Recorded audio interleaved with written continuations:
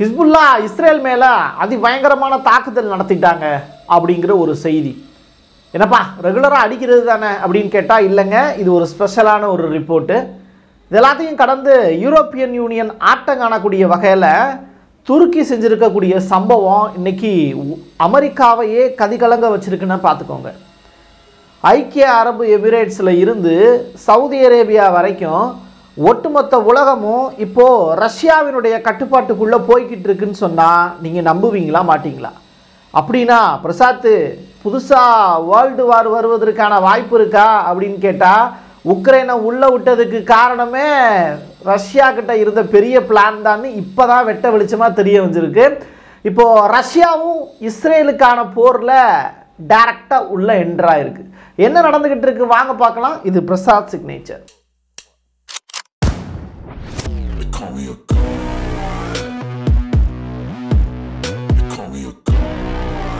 துருக்கியும் ரஷ்யாவும் ஒன்றா சேர்ந்து ஒரு பெரிய போர் பயிற்சியில் ஈடுபட்டுக்கிட்டு இருக்காங்க. இந்த போர் பயிற்சி சிரியாவை தளமாக வச்சு பெரிய அளவில் அட்டாக் பண்ணுறதுக்கான எல்லா வேலையும் செய்கிறாங்க இந்த துருக்கியும் ரஷ்யாவும் என்னப்பா வெவ்வேறு கார்னரில் இருக்கக்கூடிய கண்ட்ரியாச்சே எப்படி ஒன்று சேர்றாங்கன்னு கேட்டால் ஆமாம் நீங்கள் நினைக்கிறது கரெக்டு துருக்கிங்கிறது நாட்டோவில் அங்கத்தினராக இருக்கக்கூடிய ஒரு நாடு. நாட்டோவை பற்றி உங்களுக்கே தெரியும். அமெரிக்காவினுடைய கைப்பாவையாக செயல்படக்கூடியவங்க தான் நாட்டோவினுடைய சீஃபு அதுக்கு கீழே இருக்கக்கூடிய யூரோப்பியன் கண்ட்ரிஸ் எல்லாருமே. அப்போது இந்த துருக்கி நாட்டோவை தாண்டி ரஷ்யாவோடு கூட்டு சேர்ந்து எதுக்காக இந்த வேலையை செய்கிறாங்க அப்படின்னு கேட்டால் துருக்கிக்கு பாலஸ்தீனத்தின் மீது இருக்கக்கூடிய பாசமும் ஒரு காரணம். இன்டர்நேஷனல் கிரிமினல் கோர்ட் ஆஃப் ஜஸ்டிஸில் வழக்கு போட்டு தென்னாப்பிரிக்காவோடு எங்களையும் சேர்த்துக்கோங்க அப்படின்னு சொன்னதும் இதே துருக்கியினுடைய எர்டகன் தான். அதிகமான அளவில் இஸ்லாமியர்கள் வாழக்கூடிய நாடும் அதே துருக்கி தான். இப்படி துருக்கிக்கு பாலஸ்தீனத்தின் மீது ரொம்ப ரொம்ப ரொம்ப பெரிய அளவிலான பற்று இருக்குது அது மட்டுமல்ல ரஷ்ய அதிபர் புட்டினோடு அவர் நெருங்கிய உறவில் இருக்கிறார் அப்படிங்கிறது இப்போதான் உலக நாடுகளுக்கு தெரியவே வருது. அதனால் வரைக்கும் வந்து அமெரிக்காவோட பைடனோட தான் அவர் பேசிகிட்டு இருக்கிற மாதிரியான காட்சிகள் தான் கடந்த இரண்டாண்டு காலமாக நம்ம பார்த்துக்கிட்டு இருக்கோம். ஆனால் இப்போ திடுதுப்புன்னு ரஷ்யாவோடு அவர் காட்டக்கூடிய அன்பு நெருக்கம் அப்படிங்கிறதுலாம் ஈரான் தூண்டிவிட்டு துருக்கி செய்யக்கூடிய காரியங்கள். ஈரான் எதுக்கு தூண்டி விடணும் இஸ்ரேலை அடிக்க போகிறது எப்போ எப்போ எப்போன்னு கேட்டுக்கிட்டே இருந்தோமே அதுக்கான பதில் தான் இப்போ கிடைக்க போகிற ரிசல்ட்டு ஈரான் வந்து கொஞ்சம் புத்திசாலித்தனமான வேலையை செஞ்சுக்கிட்டு இருக்காங்க அப்படின்னு தான் தோணுது. அது என்ன புத்திசாலித்தனம் அப்படின்னா எதிரிக்கு எதிரி நண்பன் உன்னுடைய கூட்டுக்குள்ளே இருக்கக்கூடிய ஒரு ஆளையை தட்டி தூக்குனன்னா உன்னோட கூடு கொஞ்சம் கொஞ்சமாக வந்து அதனுடைய பவரை இழக்கும்ல. அப்போது நீ அனாதையாக நிற்கும் போது எளிமையாக உன்னைய அடித்து வீழ்த்திடுவேன். இப்படி தானே நீ உலக நாடுகள் எல்லாத்தையும் பிடிச்ச அப்படின்னு அமெரிக்காவை பார்த்து ஈரான் சத்தமே இல்லாமல் கேள்விகளை கேட்டுக்கிட்டு இருக்காங்க. ரஷ்யா அதிபர் புட்டின் வந்து பார்த்தீங்கன்னா செஷன்ஷியா உள்ளிட்ட ஏகப்பட்ட அங்கே அமெரி ரஷ்யாவில் இருக்கக்கூடிய மாகாணங்களில் மிக முக்கியமாக இஸ்லாமியர்கள் மீது அவர் ரொம்ப நட்புறவோடு இருக்கிறார் அப்படிங்கிற ஒரு விஷயம். செஷன்ஷியாவினுடைய மாகாணத்தினுடைய அவர் அந்த ரீஜியனுக்கு ஹெட்டாக இருக்கக்கூடிய ரம்ஜான் அவர்கள் மீது அவர் ரொம்ப பற்று வைத்திருக்கக்கூடிய நபர் தான் அப்போது ரஷ்ய அதிபர் புட்டின் என்ன யோசிக்கிறாரு அப்படிங்கிறதும் சரி ரஷ்யாவை அடுத்து யார் ஆள போகிறாங்க அப்படிங்கிறதும் உலகளாவிய அளவில் கேள்விகள் இருக்குது அதற்கு இந்த இஸ்லாமியர்களுடைய துணையையும் ரஷ்ய அதிபர் புட்டின் பெரிய அளவில் நாடி இருக்கிறார் அப்படிங்கிற ஒரு விஷயம்தான். அது என்னங்கிறத அப்படியே வரிசையாக நம்ம பார்க்கலாம். ஆரம்பிக்கும் போதே சொன்னேன் ஹிஸ்புல்லா அதிபயங்கரமான தாக்குதல் நடத்தியிருக்காங்க. ஆகஸ்ட் மாதம் இருபத்தி ஐந்தாம் தேதி நம்ம ஊரில் எல்லாம் தீபாவளிக்கு இப்போதான் பட்டாசு வாங்குறதுக்கு எல்லாரும் பிளான் போட்டுக்கிட்டு இருக்கோம் ட்ரெஸ் வாங்குறதுக்கான பிளான்லாம் எல்லாம் ரெடி ஆகிட்டு இருக்கு. பட் இஸ்புல்லாவை பொறுத்தளவில் ஆகஸ்ட் மாதம் இருபத்தி ஐந்தாம் தேதி அவங்களுக்கான தீபாவளியாக பார்க்கப்பட்டது. அந்த தீபாவளிக்கான வெடி எங்கே போட்டாங்க அப்படின்னா இஸ்ரேலுடைய கலிலி அப்படிங்கிற அந்த கடல் பகுதியில் போட்டாங்க. இது இஸ்ரேலால் தாங்க முடியாத அளவிற்கான ஒரு தாக்குதலாக இருந்தது. முந்நூறுக்கும் மேற்பட்ட ராக்கெட்டுகளை பறக்க விட்டாங்க. அதில் சில ஐடென்டிஃபை பண்ண முடியாத அளவுக்கு வித்தியாசமான தாக்குதல்களாக இருந்ததுன்னு இஸ்ரேல் சைடில் அந்த ரேடார் சைடில் கேப்சர் பண்ணியிருக்கக்கூடிய இமேஜை வச்சு பார்க்க முடியுது. அங்கேருந்து கிடைக்கக்கூடிய ரிப்போர்ட் எல்லாமே ரொம்ப சென்சிட்டிவான ராக்கெட்ஸ் எல்லாத்தையும் வச்சு செக் பண்ணிக்கிட்டு இருக்காங்க அப்படிங்கிறது மட்டும் தெரியுது அப்படிங்கிறாங்க. ஸோ இது எல்லாமே செக்கிங் பர்பஸுக்காக அனுப்பப்பட்ட ராக்கெட்டுகளாக இருக்குது இது வந்து அட்டாக் பண்ணுறதுக்கான அடித்தளத்தை எப்படி ஸ்ட்ராங்காக மெயின்டைன் பண்ணுறாங்க அப்படிங்கிறத தான் செஞ்சு பார்த்துருக்காங்க அப்படிங்கிறது இஸ்ரேலுக்கு மேலும் தலைவலியை ஏற்படுத்தக்கூடிய ஒரு விஷயமாக மாறிப்போச்சு. பத்தாவதுக்கு ஈரான் செய்யக்கூடிய சம்பவங்கள் தான் இங்கே ரொம்ப சிறப்பான ஒரு சம்பவமாக இருக்குது என்னென்னா சரியாக சவுதி அரேபியாவோடு அமெரிக்கா நட்புறவில் இருக்குங்கிறது உங்கள் எல்லாருக்கும் தெரியும். சவுதி அரேபியாவினுடைய அந்த இளவரசர் இருக்கார்ல சல்மான். அவர் வந்து ஹவுதிகளோடு ஒரு பெரிய எதிரியாக தான் இருக்கிறார். ஆனால் ஈரானை பார்த்து அவர் எப்பயுமே பயத்தில் தான் இருப்பார். ஈரானை தாண்டி அவர் யோசிக்கக்கூடிய அளவுக்கு அவர் முட்டாள் கிடையாது. அப்படிப்பட்டவர் இப்போ என்ன பண்ணியிருக்காரு? ஈரானுடைய மிக முக்கியமான மதகுருவாக இருக்கக்கூடிய கமினி அவர்களோடு ஃபோனில் தொடர்பு கொண்டு பேசியிருக்கிறார். ஸோ இது அமெரிக்காவுக்கு புளிய கரைக்கக்கூடிய சம்பவமாக இருக்குது ஏன்னா ஈரான் எப்போ அட்டாக் பண்ண போகிறாங்க அப்படிங்கிறது தெரியாததுனால அமெரிக்கா தலையை பிச்சுக்கிட்டு இருக்குது இப்படிப்பட்ட சூழ்நிலையில் சல்மான் வந்து பேசியிருக்கக்கூடிய விஷயங்களும் ஈரானை குதூகலமாக வைக்கிறதுக்கு உதவி இருக்குது இது மட்டும் இல்லை மேற்குலக நாடுகளில் இருக்கக்கூடிய இந்த எண்ணெய் பற்றாக்குறை இருக்குல்ல அது ஈரானுக்கு லட்டு சாப்பிட்ற மாதிரியான ஒரு சம்பவமாக இருக்குது ஏன்னா அதை பற்றி நான் ஏற்கனவே பல தடவை சொல்லியிருக்கேன். இந்த மிடில் ஈஸ்ட்டை பொறுத்தளவில் ஆயில் சப்ளையை மையமாக வச்சு தான் அவங்களுடைய இயக்கமே இருக்குது இதன் மேலே கண்ணு வச்சு தான் ஈராக்கு உள்ளிட்ட நாடுகள் மீது அமெரிக்கா வந்து தேவையில்லாத புகார்லாம் சொல்லி சதாம் ஹுசேன் அவர்களெல்லாம் கொலை செஞ்சது. இதெல்லாம் மக்கள் அறிந்த செய்தி. பட் இப்போ இருக்கக்கூடிய நிலை ஈரான் ஈராக்லாம் கொஞ்சம் உஷாராயிட்டாங்க. ஈராக்கை விட்டு அமெரிக்க படைகள் எல்லாமே வெளியில் போயிட்டாங்க. அப்படி இருக்கக்கூடிய நிலையில் அமெரிக்கா மிடில் ஈஸ்ட் பக்கம் காலடியே எடுத்து வைக்க முடியல.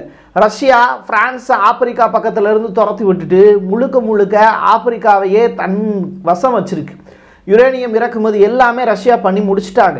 இப்படிப்பட்ட நிலையில் இறக்குமதி எல்லாமே நைஜர் ஏரியாவில் இருந்து ரஷ்யா பக்கம் வந்ததற்கு பிறகு ஈரான் இஸ்ரேலை இன்ன வரைக்கும் தாக்காமல் இருக்காங்க அப்படின்னா சவுதி அரேபியாவுக்கு இப்போ ஃபோன் போட்டு பேசியிருக்காங்க. துருக்கி நாட்டோவில் அங்கத்தினராக வைக்கக்கூடிய நாடு. அவங்க ரஷ்யாவுக்கு சப்போர்ட்டாக எல்லா வேலையும் செஞ்சுக்கிட்டு இருக்காங்கன்னா கொஞ்சம் கால்குலேட் பண்ணி பார்த்தீங்கன்னா இது எல்லாமே வேர்ல்டு வாருக்கான முதல் அடிப்படை செய்தியாக உங்களால் உணர முடியும்.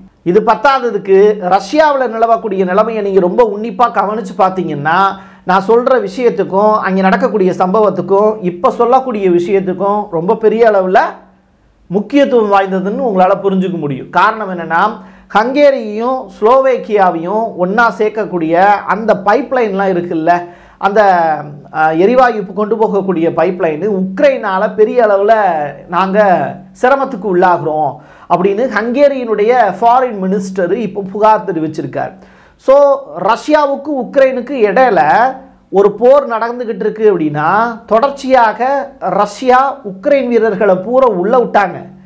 ஆனால் அதுக்கு பின்னாடி வந்து அவங்க சர்வதேச அரசியலை ரொம்ப உன்னிப்பாக கவனித்து உன்னுடைய நாட்டுக்காரங்க உன்னுடைய நாட்டோ நாட்டுக்காரங்க இருக்காங்கல்ல அவங்கள விட்டே பேச வைக்கிறேன் பாருன்னு ரஷ்ய அதிபர் புட்டின் செய்த மிகப்பெரிய அளவிலான ராஜதந்திர நடவடிக்கையாக இது பார்க்கப்படுது.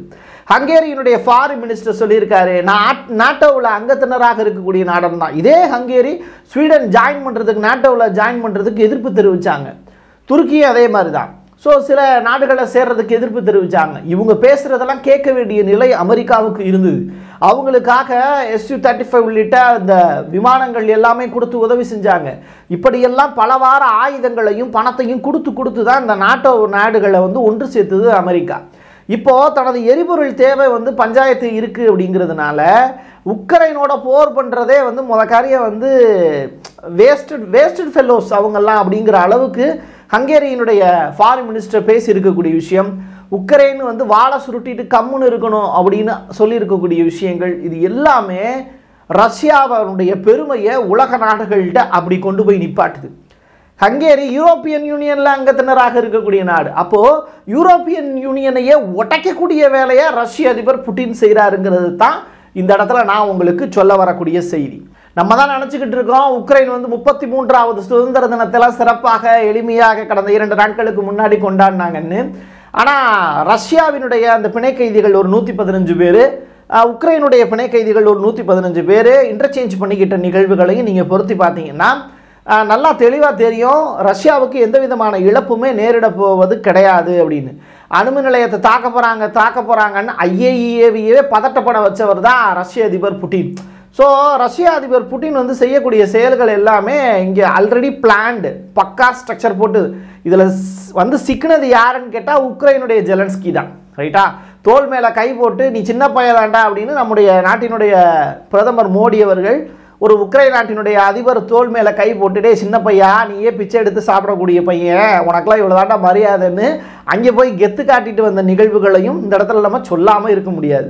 சைனா அண்டர் வாட்டரில் ஒரு பெரிய அளவிலான சாதனையை செஞ்சு அவங்களும் இப்போது ரஷ்யாவுக்கு சாதகமான நடவடிக்கையில் ஈடுபட்டிருக்காங்க. அது என்னென்னா மூவாயிரம் மீட்டர் ஆழத்தில் கடலுக்கு அடியில் ஒரு ஃபைவ் ஜி நெட்ஒர்க் கம்யூனிகேஷன் செய்கிறதுக்கான வாய்ப்புகளை உருவாக்குறதுக்கு அவங்க இந்த ஹூவே டெக்னாலஜி அவங்க கூட டைப் பண்ணி சீனாவில் இருக்கக்கூடிய ஒரு நிறுவனத்தோட டைப் பண்ணி இந்த சாதனையை செஞ்சுருக்காங்க. ஸோ நீங்கள் முப்பது கிலோமீட்டர் தொலைவில் கடலுக்கு அடியிலேயே முப்பது கிலோமீட்டர் தொலைவில் ஃபைவ் ஜி நெட்ஒர்க் ஆக்டிவேட் பண்ணுறதுக்கான வேலையை சக்ஸஸ்ஃபுல்லாக சீனா முடிச்சிருக்கு. ஸோ சீனா எப்படான்னு காத்துக்கிட்டு இருக்காங்க. இந்த ரஷ்யா உக்ரைன் போர் முடியும் போது தைவானை நான் அடிக்க போகிறேன் அப்படிங்கிறது தான் ரஷ்ய சீனாவினுடைய கொள்கை. ஸோ இந்த வேலையை மையமாக வச்சு சீனா பெரிய அளவில் ரன் ஆகிட்டு இருக்கு. அண்டர் வாட்டரில் அவங்களுடைய டெக்னாலஜி அதிகப்படுத்துறதன் மூலிமா தைவானை கைப்பற்றுவதற்கான வாய்ப்பும் இருக்குது அப்படின்னு சொல்கிறாங்க ஸோ தைவானுடைய இண்டஸ்ட்ரீஸ் எல்லாத்தையுமே தன்வசப்படுத்துது அப்படின்னா சீனா எப்படிப்பட்ட நாடாக இருக்கும் அப்படின்னு நீங்கள் யோசிச்சு பார்த்துங்க. ஏற்கனவே நம்மக்கிட்டேயே அவங்க ஒம்பெடுத்தவங்க தான். அப்போது சைனா சைனா வந்து தைவானை கைப்பற்ற போகுது அப்படிங்கிற ஒரு சூழ்நிலையில் இந்தியாவும் எதிர்ப்பு தெரிவிக்கக்கூடிய வாய்ப்புகள் இருக்குது அமெரிக்காவும் உள்ளுக்குள்ளே வந்து சண்டை போடுவதற்கான வாய்ப்புகளும் பிரகாசமாக இருக்குது ஆக மொத்தத்தில் இதுவும் உலக அந்த வாருக்கான ஒரு பெரிய அத்தியாயத்தையும் தொடங்க போகிறாங்க அப்படின்னு சொல்கிறாங்க ஸோ இது எல்லாமே வந்து வேர்ல்டு வார் த்ரீக்கான ஒரு அத்தியாயமாக தான் பார்க்க முடியுது. நடக்கக்கூடிய சம்பவங்கள் வித்தின் டூ டேஸில் ஏகப்பட்ட அரசியல் மாற்றங்கள் வேர்ல்டில் நடந்திருக்குங்கிறத நீங்கள் வேர்ல்டு வைடாக நடக்கக்கூடிய செய்திகளை பார்க்கும்போது உங்களால் உணர முடியும். அமெரிக்காவினுடைய பேச்சுவார்த்தை எல்லாமே தோல்வி அடைஞ்சிருச்சு. மிடில் ஈஸ்டில் அவங்க செய்திருக்கக்கூடிய பேச்சுவார்த்தைகள் எல்லாமே தோல்வி அடைஞ்சிருச்சு. சீனாவினுடைய வளர்ச்சியை அவங்களால தடுக்கவே முடியல. வடகொரியா என்ன பண்ணிட்டாங்க அப்படின்னா ஈரான்ட்ட இருந்து புதிதாக ஒரு ஆயுதங்கள் வேற வாங்கியிருக்காங்க. ஜஸ்ட் ஒரு ஒன் ஹவருக்கு முன்னாடி கிடச்ச செய்தி. ஸோ இது எல்லாமே வந்து வச்சு பார்க்கும்போது இந்த எல்லா நாடுகளும் ஒன்று சேருது. யாருக்கு எதிராக? நாட்டோ யூரோப்பியன் யூனியன் அது மட்டும் இல்லை அமெரிக்கா அப்படிங்கிற அந்த சர்வதேச நாட்டுக்கு எதிராக. யூரோப்பியன் யூனியனும் உடையக்கூடிய நிகழ்வு இப்போ நடந்துக்கிட்டு இருக்கு. அப்போ இதெல்லாம் யாருக்கு லாஸு அமெரிக்காவுக்கு லாஸ் இதெல்லாம் யாருக்கு லாபமாக பார்க்கப்படுது. பிரிக்ஸுங்கிற நம்முடைய இந்தியா அங்கத்தினராக இருக்கக்கூடிய இந்த கூட்டணிக்கு சாதகமாக பார்க்கப்படுது. அப்போ டாலருடைய ரேட்டு குறையும் பெட்ரோல் டாலரையே தூக்கி போட்டு உடச்சிட்டாங்க. அப்போ கூடிய விரைவில் வந்து டாலருடைய மதிப்பிழப்புங்கிறது அதிகரிக்க போகுது. இது எல்லாத்தையும் வச்சு கா கால்குலேட் பண்ணும்போது வணிக ரீதியாகவும் வர்த்தக ரீதியாகவும் அடுத்த கட்ட போருக்கு ஈரான் வந்து எல்லா நாடுகளையும் ஒன்று சேர்க்குதுங்கிறது மட்டும் தெல்ல தெளிவாக உணர முடியுது. அடுத்தடுத்து கிடைக்கக்கூடிய அப்டேட்டோட மீண்டும் நிறைய நல்ல தரமான வீடியோக்களை பார்க்கறதுக்கும் அதே மாதிரி செய்திகளுடைய ஆழம் சென்று தெரிஞ்சுக்கிறதுக்கும் வரலாற்றை பேசுறதுக்கும் கேட்கறதுக்கும் எல்லாத்துக்குமா இருக்கக்கூடிய பிரசாத் சிக்னேச்சர் சேனலை உடனடியா லைக் பண்ணுங்க ஷேர் பண்ணுங்க கமெண்ட் பண்ணுங்க. மறக்காம சப்ஸ்கிரைப் பண்ணி பெல் ஐக்கானை கிளிக் பண்ணிருங்க.